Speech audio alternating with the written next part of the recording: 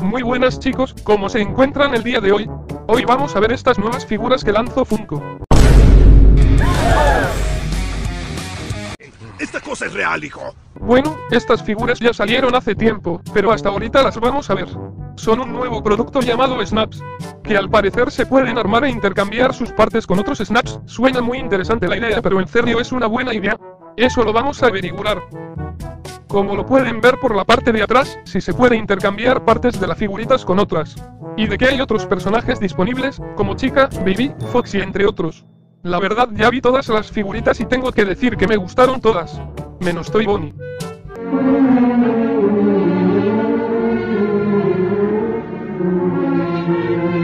Y también puedes hacer un mini escenario si consigues todas las figuritas. Eso sí me gustó mucho pero no estoy seguro si valdría la pena comprar los demás. Ahí voy a ver si me decido en comprarlos. Aunque ya me compré otro personaje, pero lo estoy ahorrando para otro video. Ahora voy a intentar sacarlos lo más cuidadosamente para no dañar mucho la caja. Entonces los voy a abrir afuera de cámaras y ahorita volvemos rápidamente. Para ustedes seguramente fue muy rápido, pero para mí me tomó mucho tiempo, no sabía cómo abrirlos sin dañarlos pero al menos ya los tenemos afuera y podemos verlos mucho mejor. Bueno chicos, ahorita vamos a sacar primero a Springtrap. Siempre que recuerden que si ustedes no quieren que pierda mucho su valor entonces deben sacarlo lentamente, ya que si dañan mucho el plástico igualmente pueden perder su valor. Aunque con estas clases de figuritas que no vienen en una caja es muy difícil que no pierdan su valor. Honestamente no mucho me gustan estas figuritas que se sacan de esta forma.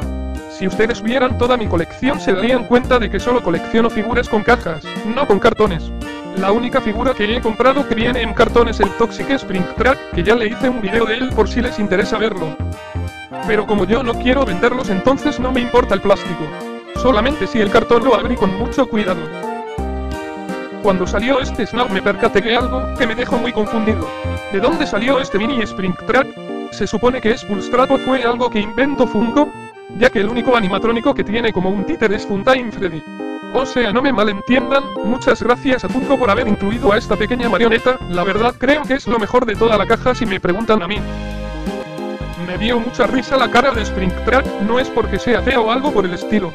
Sino es que me gustó mucho que no le hayan olvidado poner ese detalle, en serio me hubiera molestado que no le hubieran puesto su cara podrida y en vez le hubieran puesto una cara de mendo esqueleto, pero lo bueno que ese no fue el caso pues no es nada difícil unir sus partes, simplemente tienes que escuchar un clic y se unen muy fácil. Y es así como se ve, me gusta mucho cómo es y la forma que tiene. La verdad se siente bien a veces cambiar, saben, ya que yo solo suelo comprar pops pero estos snaps también se ven muy bien. Me hubiera gustado que tuvieran un poco de sangre su cara y su máscara. Pero aún así me agrada como está hecho.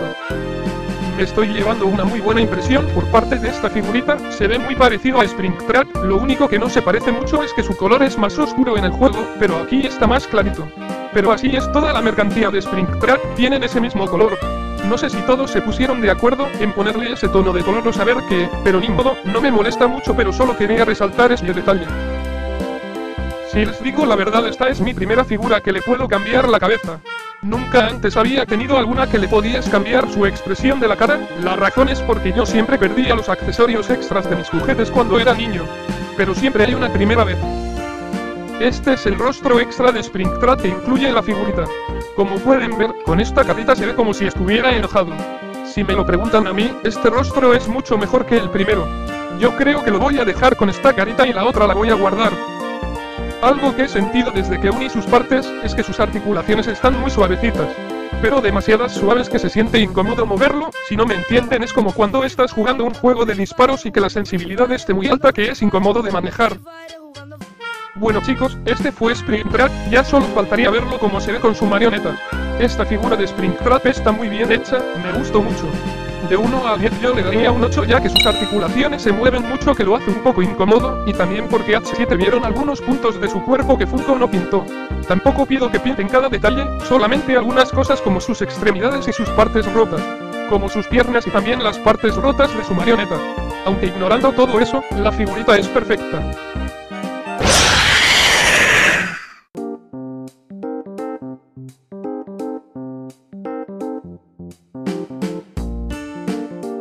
Así es como se ve el esqueleto de Freddy.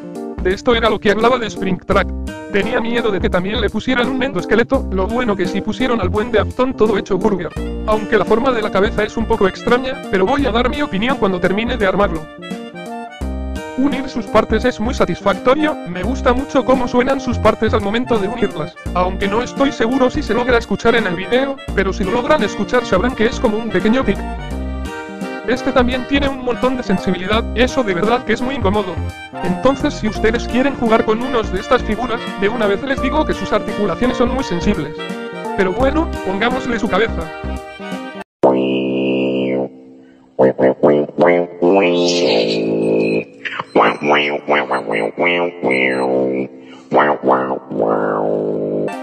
No sé lo que ustedes piensan, pero yo siento que tiene cara de retrasado. Creo que es porque tiene una cara muy relajada y queda esa sensación de que no se da cuenta de lo que pasa a su alrededor. Pero no por eso es que sea fea, todo lo contrario, solo por eso me gusta mucho más a cómo se miraba dentro de su plástico. Es como cuando los perritos son gorditos y se ven más tiernos. Sí que me aman. La figurita en sí no tiene muchos detalles o algo que la haga sobresalir entre las demás, pero supongo que está bien, ya que como es el Freddy original y uno de los primeros cinco animatrónicos su diseño debe de ser simple. Lo que viene como accesorio al Freddy es su micrófono, no es algo muy grande o muy llamativo, pero es lo mejor que le pudieron poner a Freddy como complemento. Solo imagínense si le hubieran puesto con una guitarra.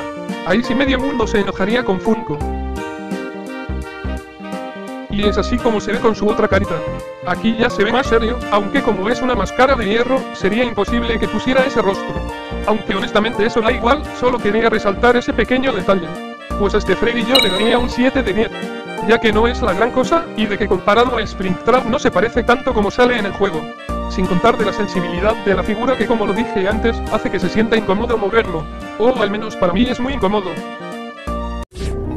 Un segundo después... Les acabo de intercambiar la cara de los dos y debo decir que me dan mucha risa. Es como si tuvieran pijamas del otro. Bueno, en términos de dinero, estas dos figuritas que venían juntas me costaron unos 30 dólares. Recuerden que yo soy de Guatemala, así que no sé cómo estarán los precios de otros países. Pero para mí me pareció un buen precio. Ya que te trae dos figuras con sus accesorios, como la marioneta, el micrófono y las caras extras de Springtrap y Freddy. La pregunta sería, ¿vale la pena gastar ese dinero por estas figuritas? Pues a mi punto de vista, sí vale la pena. Ya que además de que se vean bonitas, si compras todas te dan las posibilidades de recrear la pizzería del primer juego. Pero sí creo que hay mejores opciones que estas figuritas. No me arrepiento de haberlas comprado, en verdad me gustaron mucho. Pero no creo que me vaya a comprar muchas figuritas de estas. Si son algo económicas y de que se puedan posar un poco es algo muy interesante, pero yo prefiero las figuras que no se puedan mover ya que yo solo las quiero como decoración. Tal vez compraría más pero solo si veo que les gusta esta clase de figura.